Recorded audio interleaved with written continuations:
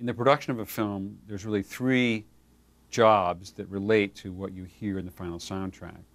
Three creative jobs which ultimately result in what you hear. One of them is the production recordist, which is a person who is recording during the actual filming of a movie. They'll have a microphone on the set and they will gather dialogue and some sound effects if they're available during the actual shooting. Secondly, you'll have a sound editor, and this is a person back in a studio who generally has a collection of sound or is able to go out and make new recordings with a portable tape recorder or something like that and bring them back and edit them and fit them into and add them onto the soundtrack of the film itself. And the third person is a sound mixer, and this is a person whose job is to blend together all the different sounds that come in to make up a soundtrack, such as music, dialogue, and sound effects. Uh, those types of positions have really existed since sound films first came into being in one form or another. The term sound designer has gotten usage in the last decade, really since the Star Wars films began a new interest in creative soundtracks in motion pictures. A sound designer, I called myself a sound designer because I really wasn't functioning just as a production recordist or just a sound editor or just a sound mixer. I did some of the job uh, that all three of those people might do. And, but I was able to follow through from the point of production of a film. That is, I could go out and advise and make suggestions about things that could be recorded uh, once I'd seen the script of the film. I was on hand during some of the filming of the motion picture to gather sounds or at least see what was going on so I could run off myself and begin to manufacture and make sounds that I know we'd need later on. Uh, I was also uh, on hand during the editing of the film to function as a sound editor, and that job would be to pick sounds out of a library of our own making uh, and edit them and synchronize them with the action on the screen. And also I'd be involved in the sound mixing. And it's not often that one person gets to move through all those different jobs on a film. Usually they're pretty strictly categorized, and one person doesn't, you know, one sound recordist may not do any sound editing, and the sound editor may not do any sound mixing. That's the tradition of the, the division of labor in, in feature films. Um, but since I was uh, an exception to that traditional division of labor, I needed to describe myself in some new terms. So I began to use the term sound designer. Uh, which essentially meant that I, although I emphasized my creative work in sound effects, uh, my job was to coordinate all that you heard in the final soundtrack of a film.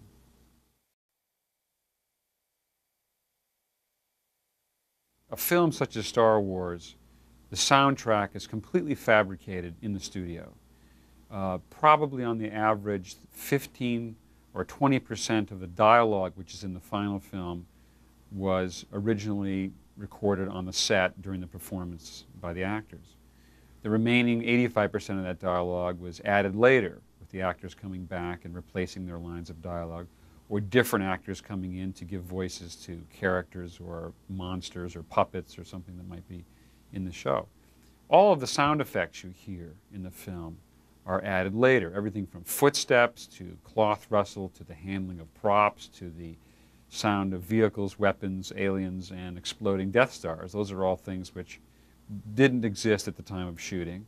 They had to be manufactured after the fact.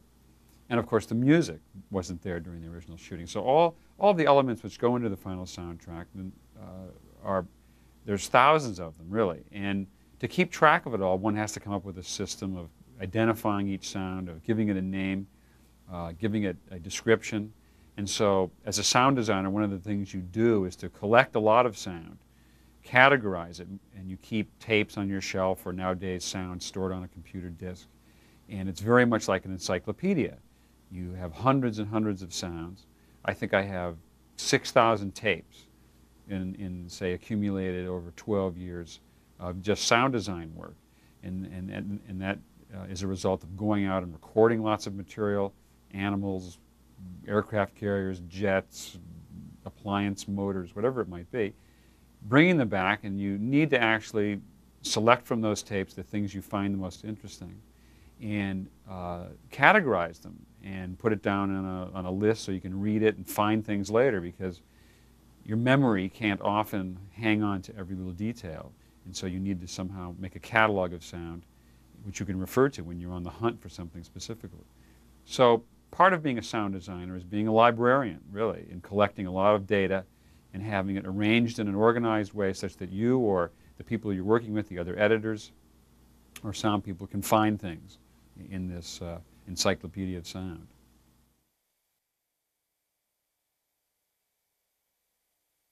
When I did Star Wars, it was the very beginning of my career, and I had a lot to learn. Fact, I knew very little, and so everything I did at that time was going down a new road to some extent.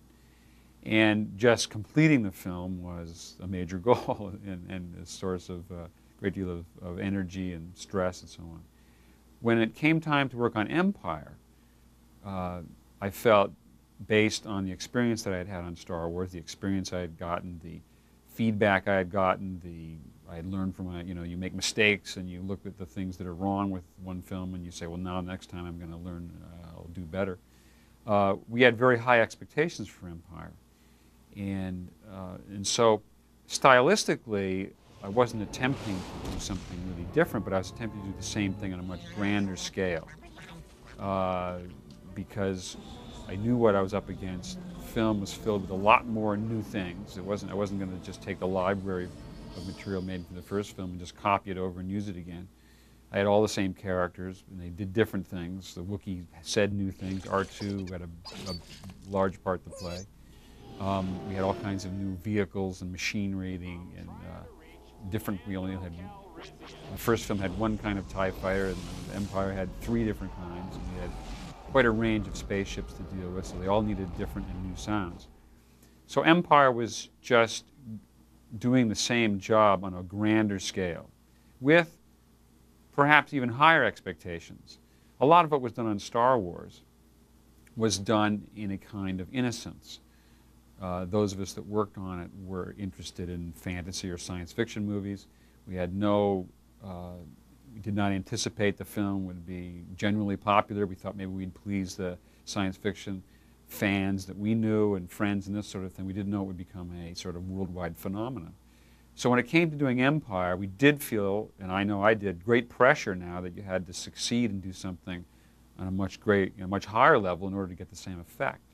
And so it's a great deal of creative pressure to just outdo ourselves.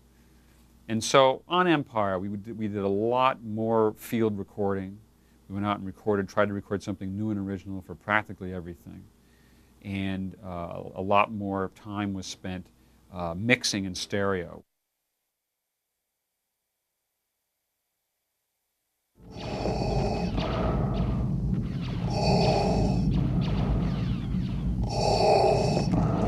The concept for the sound of Darth Vader came about from the first film.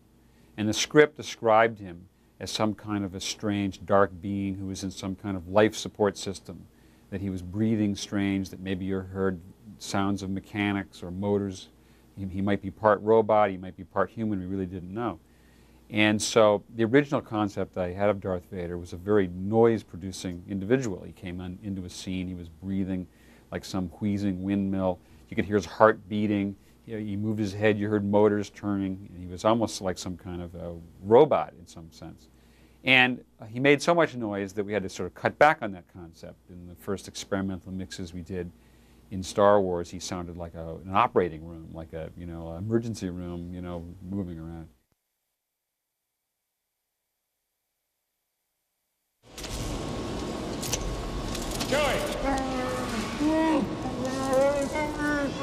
All right, don't lose your temper. I'll come right back and give you a hand.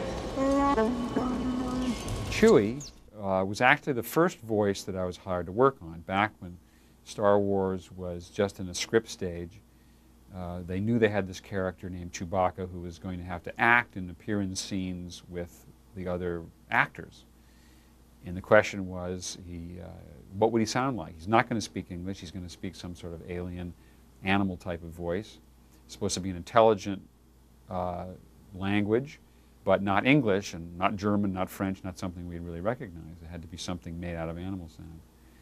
In one of the first meetings I had with George Lucas, he, uh, we talked this over, and he said something about, well, maybe bears would sound good. He had heard some recording maybe somewhere of bears um, growling and making uh, vocalizations. He didn't say where that was, but he said that'd be one of the things you might look into, and we had a list of different animals to go out and record. So in the sort of year I spent recording preliminary sounds for Star Wars, I collected lots of bear sounds as well as walruses and lions and badgers and sick animals and you know domestic all sorts of things. And out of all these recordings, you could extract little bits of sound, little grunts and moans and ugs and args and uh, purring sounds, whatever it might be. And I made, I collected and put all on one tape essentially all these sounds which I thought had emotional feelings associated with them. You play this sound, it sounded affectionate. You played this other sound, it sounded angry. And uh, in that manner, I kind of had these categories of little sounds that each had an emotional tone associated with it. So I began cutting those together to try to get a sense of speech out of Chewie and to also get something that would work well with the way his mouth moved. He, he didn't have articulated lips. He could basically open and close his mouth. So you also needed to create a sound which would be believable as coming from a, a mouth which was operating like his did. And uh, through a great deal of trial and error, uh, came up with a voice for Chewbacca in that fashion. So it's a voice which is manufactured completely out of uh, animal sounds, principally bears, uh, and uh, synchronized with the performance uh, that's shot during filming.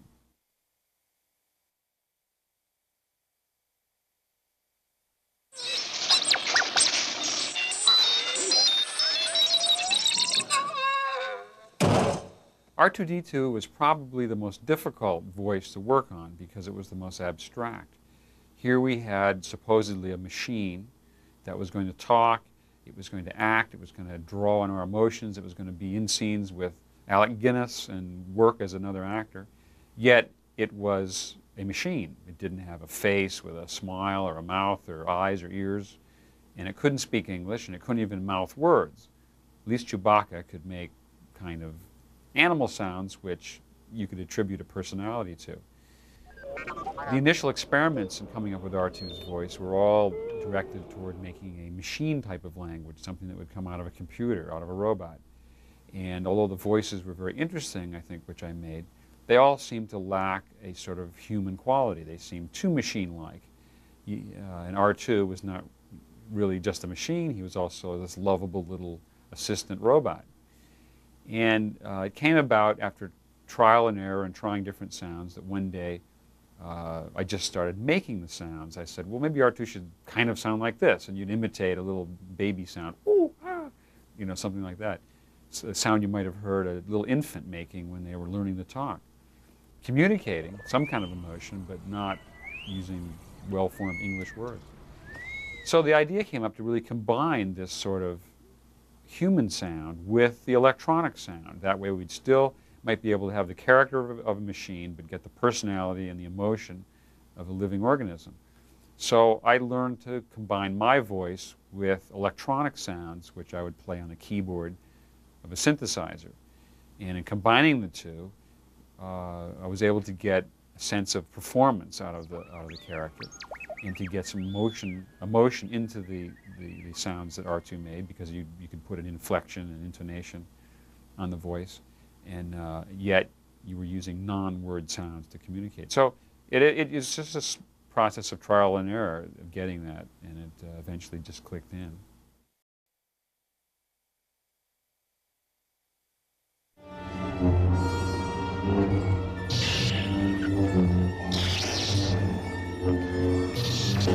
Lightsabers are one of my favorite sounds, and in fact, it was the very first sound I made for the whole series. For some reason, after I read the script, even though my assignment was first to find a voice for Chewbacca and then a voice for R2, and then, uh, well, maybe come up with some sounds for laser guns and other things. The lightsaber fascinated me. At that time, um, when the script had first come out, uh, they had some paintings that Ralph McQuarrie had done so that there were some concepts visually of what some of these things would look like. And those pictures were very inspiring because they gave a, an idea of the direction we were trying to go in the look of the film. And it was inspiring to me to therefore think up sounds that might fit that kind of visual style. And uh, I could kind of hear the sound in my head of the lightsabers, even though it was just a painting of a lightsaber. I could really just sort of hear the sound. I think maybe somewhere in my subconscious I had uh, seen a lightsaber before. Um, and I went to, uh, at that time I was still a graduate student at USC, and I was a projectionist, and we had a projection booth with some very, very old simplex projectors in them. And they had an interlock motor which connected them to the system, which when they just sat there and idled made a wonderful humming sound, and it would slowly change in pitch, and it would beat against another motor. There were two motors, and they would harmonize with each other. And it was kind of uh, that inspiration uh, that, that sound was the inspiration for the lightsaber, and I went and recorded that sound. But it wasn't quite enough. It was just a humming sound. What was missing was kind of a buzzy, sparkling sound, the scintillating element which I was looking for. And that I found one day by uh, accident. I was carrying a microphone across the room between recording, I was recording something over here, and I walked over here with the microphone, passed by a television set which was on the floor, which was on at the time, without the sound turned up, but the microphone passed right behind the picture tube, and as, as it did, this particular microphone produced an unusual hum. It picked up transmission from the television set, and uh, a signal was induced into its uh, sound reproducing mechanism.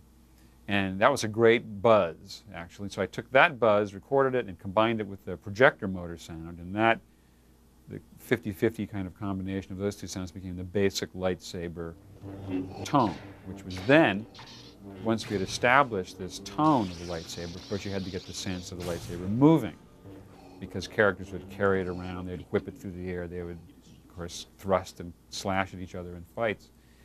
And um, to achieve this additional sense of movement, I played the sound over a speaker in a room just the humming sound, the humming and buzzing combined is an endless uh, sound.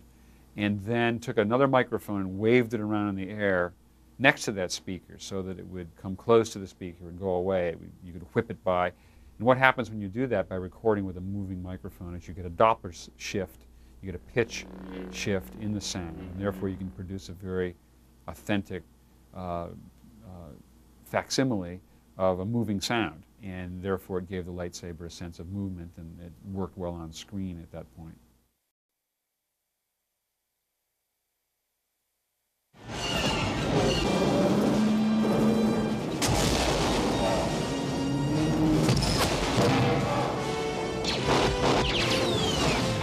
The walkers were a lot of fun to work on because they were big mechanical beasts and it was a pleasure sometimes to work on just big machinery rather than just voices.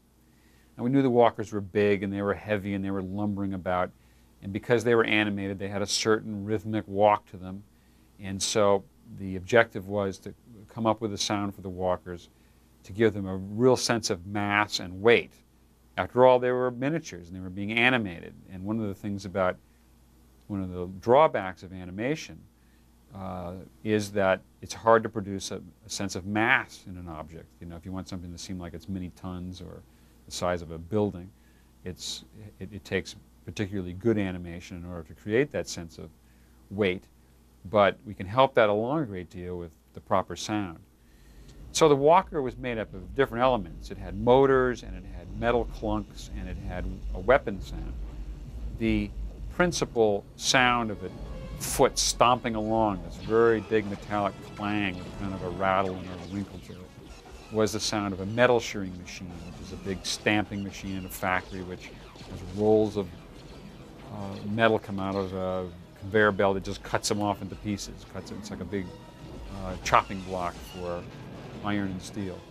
And uh, Randy Thom, one of the fellows working with me at that time, he went out and recorded some of these metal shearing machines for me and brought the recordings in. I picked parts of the recordings that I liked and made them into the, a rhythmic walk cycle. But in addition to just the metal shearing machine clanging along, I needed a, some big metallic squeaking sounds, kind of like the knee joint squeaking all the time. Every time it would lift its leg, there'd be a big sort of a moaning sound. And that I achieved by uh, playing with the dumpster door, uh, a dumpster that was dropped off at my house one day to fill in the street to be filled with trash. I'd go out and throw the trash in it, and I'd open the lid, and it made this wonderful sound because it hadn't been oiled in its entire life. And so that dumpster became a major part of the walker as well.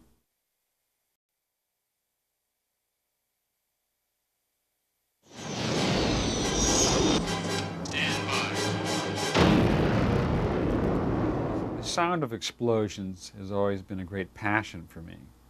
And so when it came to battle scenes or the destruction of the Death Star or anything of that sort, I always got into it quite seriously and uh, spent a lot of time recording explosions and weapons and trying to figure out ways to record them to get the maximum visceral effect out of the event. Um, real explosions are very difficult to record because they're so loud and quite often they're so sudden, uh, short in duration sound that a normal recording system doesn't get something that's very interesting. It gets a big clap or a big pop or something of that sort. If you listen to explosions often on the, uh, on the news, things recorded in actual warfare, sometimes it doesn't seem to have quite the, the body and the tone range that you are used to hearing in motion pictures. Um, I went out and did a lot of recording of explosions. Uh, I went to White Sands Missile Range to record missiles and rockets taking off and impacting and air-to-air interceptions. I went to many military bases and recorded uh, tanks shooting and artillery. Uh, I had I got myself in a situation once where I was being bombarded by howitzers from about five miles away, and I was in a trench, and they were dropping shells 500 feet out in front of me, where my microphones were. Blew up one pair of microphones, cut cables, put some more out, uh, ducked shrapnel, but got some great recordings, and I've repeated that experience over and over again over the years, uh, always in a quest which I call the search for the ultimate explosion. And uh, I've gone a great distance in this, but I don't know if I've gotten it yet.